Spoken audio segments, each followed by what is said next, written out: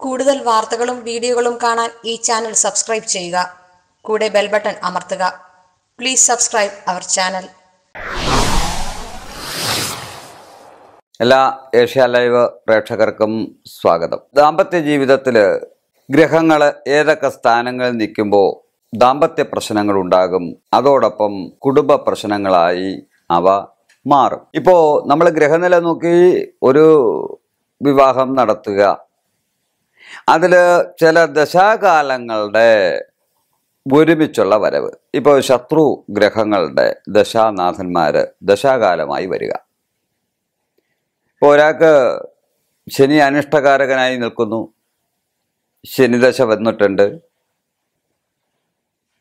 ശനിദശ നമുക്കൊക്കെ അറിയാം പത്തൊമ്പത് വർഷമാണ്. മറ്റൊരാൾക്ക് രാഹുർദശ വന്നിട്ടുണ്ട്. അത് പതിനെട്ട് വർഷവുമാണ്. ഇതിൽ ഏഴാം ഭാവത്തിലും എട്ടാം ഭാവത്തിലും നിൽക്കുന്ന ഗ്രഹങ്ങളുടെ ശത്രു മിത്ര സമ അവസ്ഥകൾ.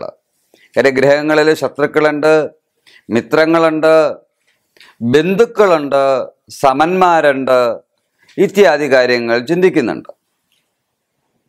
ആ രാശിഭാവത്തിൽ ദൃഷ്ടി ചെയ്യുന്ന ഗ്രഹങ്ങളുടെ യോഗവുമുണ്ട്. അപ്പോൾ ഇവരുടെ ദിശാകാലവും ഗ്രഹനിലയിൽ ആ രാശിഭാവത്തിൽ ദൃഷ്ടി ചെയ്യുന്ന ഗ്രഹസ്ഥിതിയുടെ ഫലവും വെച്ചിട്ടാണ് പെട്ടെന്നുണ്ടാകുന്ന ചില മാനസിക സംഘർഷത്തിൽ ഇവർ പരസ്പരം മനസ്സിലാക്കാതെ ജീവിതത്തിൽ പരാജയമായി അത് പരിണമിക്കുന്നത്. എന്നാൽ ഇപ്പോൾ സന്താനഭാവങ്ങളുടെ ഗ്രഹനിലയും ഇതിന് ബാധകമുണ്ട്.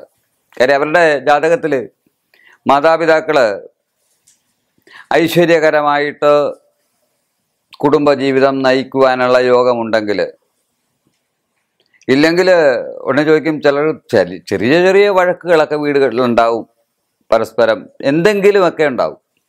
ഇല്ലെങ്കിൽ പിന്നെ വെറുതെ വല്ല കാര്യമുണ്ടോ ജീവിച്ചിട്ട്? എന്തെങ്കിലുമൊക്കെ ഒരു വിഷയങ്ങളില്ലാത്ത ഇത് കാണില്ല. എന്നുമ്പോട്ട് അത് വലിയ വിഷയങ്ങളൊന്നും ആയിരിക്കില്ല നിസ്സാര കാര്യങ്ങളാവും. അവിടെ തീരും. ഇതങ്ങനെയല്ല ചില ഗ്രഹദൃഷ്ടി യോഗങ്ങൾ വന്നാലോ അതുപോലെ ശത്രുഭാവയോഗം വന്നാലോ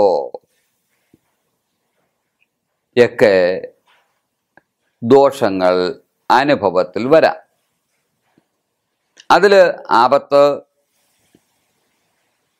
ദുർമരണം വേർപിരിയൽ അപകടം തൊഴിൽ നഷ്ടം മാനഹാനി വരെ പറയുന്ന ഭാവങ്ങളാണ് എട്ടാം ഭാവം. എന്നാൽ കളത്രഭാവമോ അത് കൂട്ടാളികളെ പറ്റി പറയുന്നുണ്ട്. അതോടൊപ്പം തന്നെ നിവൃത്തി സ്ഥാനമാണ് ഏഴാം ഭാവം. അവിടെ സ്നേഹം വിശ്വാസം ഇത്യാദി പല കാര്യങ്ങളും പറയുന്ന കളത്ര ഭാവാധിപനും അഷ്ടമ ഭാവാധിപനും ശത്രു രാശിയോഗത്തോടുകൂടി ദൃഷ്ടി ചെയ്യുന്ന ഒരു സമയം വന്നാൽ അതോടൊപ്പം ഭാഗ്യസ്ഥാനത്ത് ദൃഷ്ടി ചെയ്യുന്ന ഗ്രഹത്തിന്റെ യോഗവും അല്ലെങ്കിൽ കാരഗ്രഹത്തിന്റെ യോഗവും.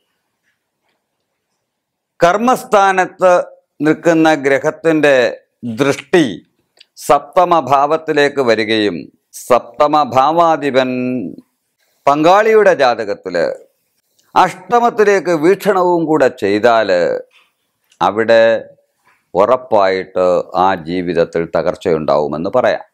അപ്പം ഈ വക കാര്യങ്ങളൊന്ന് ചിന്തിച്ചിട്ട് നമ്മൾ അതിന് കാരണം കണ്ടെത്തി പ്രതിവിധികൾ ചെയ്യുമ്പോൾ സ്നേഹപരമായിട്ട് വീണ്ടും അവരടുക്കുവാനുള്ള ഒരു യോഗമുണ്ടാകും.